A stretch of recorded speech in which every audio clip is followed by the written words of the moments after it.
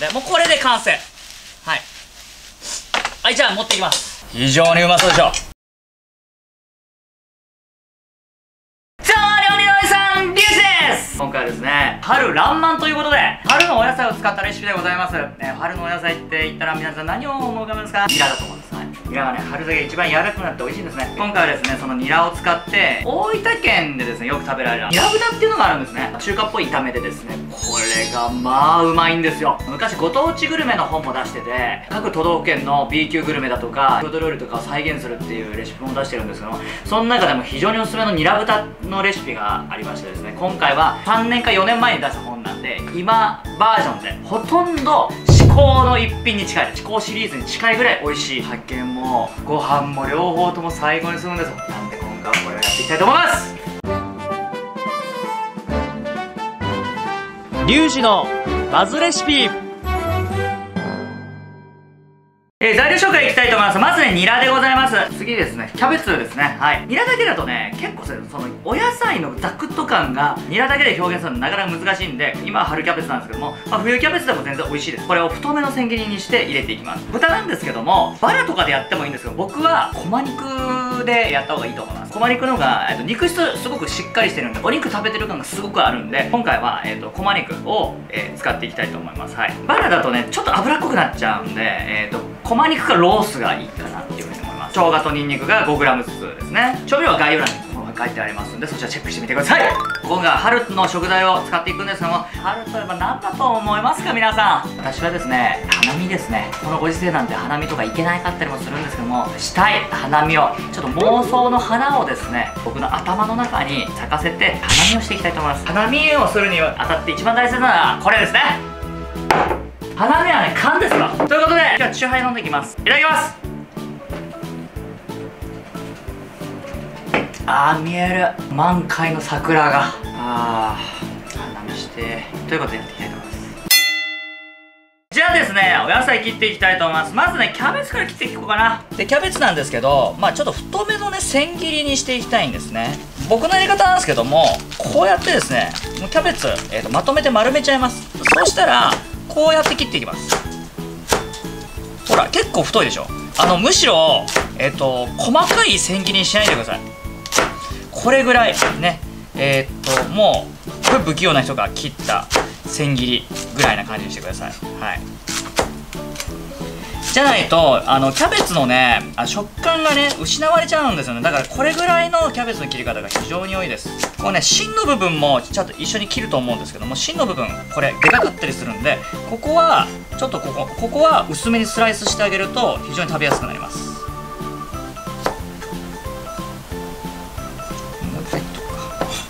あのキャベツはこんな切り方でいいです。これがこの切り方がねすっごく美味しいので、はい、そしたらニラを切っていきます。はい。こんな感じでえっ、とまあ3 4センチぐらいですかね。に切っていただければ大丈夫です。はい。こんな感じで、えー、ニラはこう避けておきます。はい。でえっ、とニンニクと生姜はみじん切りしていきます。え今回ねちょっとみじん切りではい。細かく切ってください。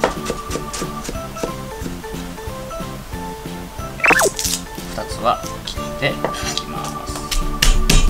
そんなにねえ、ー、と恐ろしく細かくしなくても全然平気です。ちょっとねみじん切りっぽくはしてくださいこれね、はい、潰してこうやってね、えー、千切りにするだけで結構ねいい感じの粗みじんになりますね。ちょっと生姜の方が今多いんでちょっとニンニク足します。ちょっとちっちゃいニンニクだったんで。皆さんはねあの心配だったら 5g 測ってくださいねこれね。はいこんな感じですね。そしたら、えー、次お肉です。でこのこま肉なんで結構ねあのいい感じに切れてはいるんですけどもえっ、ー、とまあちょっと当たってもらってえっ、と一口大に、えーと、切れてたらもう大丈夫です。はい。これとかちょっと大きいね。これとかちょっと大きいんでそういう場合はもうねちぎっちゃう。はい。なんでかっていうとこれねまな板あんまり不必要にねあの汚したくないっていうのがありますね。はい。なんで僕はこうやってちぎっちゃいます。はい。でいい感じに切れましたんでここで下味をつけていきね。塩コショウ。塩コショウねあの普通の味塩コショウとかでいいです。はい。えー、適量ね振っていきます。これこれぐらいの量ね。はい。で片栗粉。片栗粉を、えーと、小さじ4杯。だから大さじ1杯と小さじ1杯を、えーと、振っていきます。はい。でこ豚こま肉の場合はあのね結構ねあの端っこの肉とか使われるんですよ豚こま肉って。なんで結構そのまま炒めると硬かったりするんですけどもこうやってね片栗粉をはたいていくことによってお肉の水分が外に逃がずにですね柔らかくいただけます。全体まぶさったら、えー、もう準備完了です。んで炒めに入っていきますで最初に、えーと、ごま油ね、えーと、大さじ1杯。こいつで炒め炒めていく。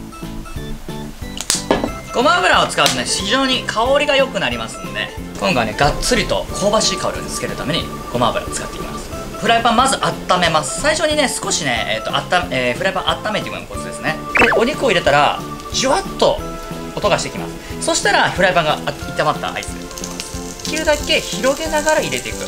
横着する方はこのまま、えーと、ドカッとこのあのダマになったまま入れちゃうと思うんですけどもそうするとね肉の食感がね団子みたいになっちゃうんでできればこうやって丁寧に広げていってください。はい。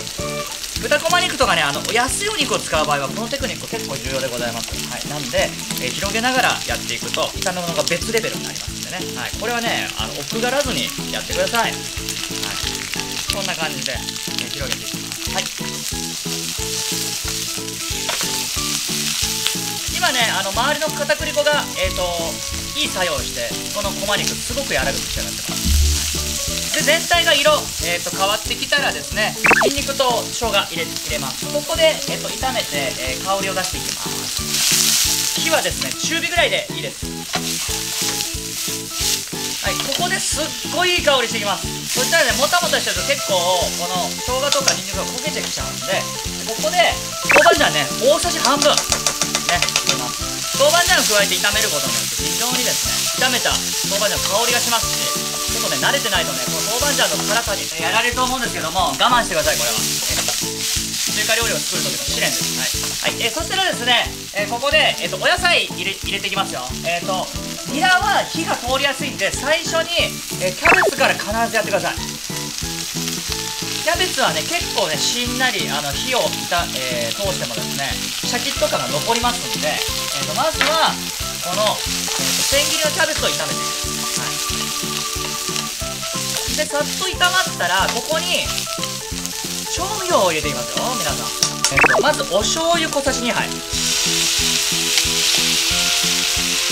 でオイスターソース。オイスターソースの、えー、味付けですねこれね。あのオイスターソースはうまみがすごく強いんで、えー、入れてください。あのいい香りもつきます。はい、えー、そしたら、えー、とお砂糖をねお砂糖小さじ1杯。はい入れます。砂糖は甘み付けですね。で、えー、とお酒。お酒がね小さじ2杯これ香り付け。で、えーと、味の素、えー、これうまみ付けですね。4振りこれ。ね豚のイノシン酸と結びついて非常に美味しくなりますので、ね、入れてください。はい。ですごく色鮮やかになったの分かりますか？これ。はい。でここで黒胡椒。黒胡椒ね。えっ、とこれね結構たっぷりこれぐらい、はい、思ってる3倍入れてくださいでざっと炒め合わせます。そうなってくると調味料と炒めていくとあの結構ニラがニラじゃないキャベツがしんなりしてきますね。でここで、え最後にニラ入れてざっと炒めます。最初に芯の部分入れてください。最初切った方ね。え入れて、えざっと炒めます。はい。なんでかっていうと芯の方が炒まりにくいからです。はい、え太いからね、え少しねえー、最初に炒めます。そしたらそしたら最後に、えー、このニラ、えー、入れていきますね。よいしょ。で最後にニラ入れたらあとはねさっと炒める。これ重要です。はい。ニラはね炒めすぎるとクタクタになっちゃってせっかくのね美味しい旬のニラが台無しになってしまいますんで入れたら、えー、あえて、えー、しなっとしたらもう完成。はい。もうこもうこれで火止めちゃっていいです、えー、これで置いとくともうすぐ、え火が通ってきます。でもうこれで完成。はい。はいじゃあ持ってきます。もうこれで完璧な火の加減になってます。ニラ入れたらねもう余熱でいいですからね。はい皆さん。これがねもうぶっ飛びますから皆さん。つやってます。これ。非常にうまそうでしょ。ということで最高に美味しいです。スタミナで完成です。それではいただきたいと思います。くー。あーでもねすいません。これビール。いただきます。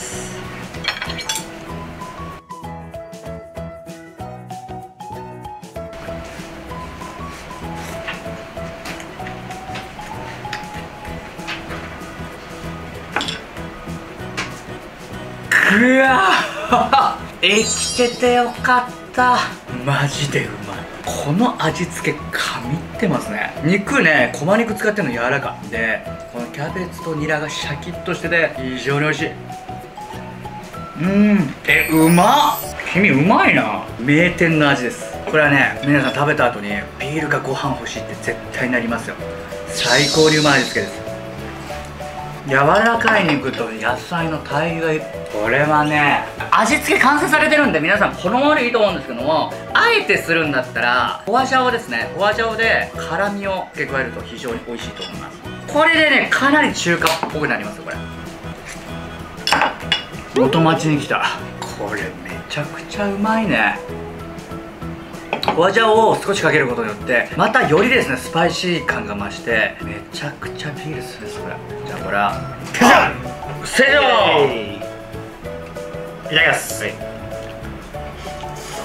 うめえ。最高だろ最高。レバニラに近いかなみたいな感じで見てたけど、うん。でもそれとも味付け全然違うん。う食べた感じが。豚こまっぽくなくない？うん。これ千葉で店出した方がいいかうん。ニラ豚定食だけでいいよね。うんそれだけの店やろそれぐらいいける。うん。でみんな好きだもんこの味ほんとちょうどいいね。うん。ということでね、えー今回のスタミナニラ豚最高に美味しいんでぜひ皆さん試してみてください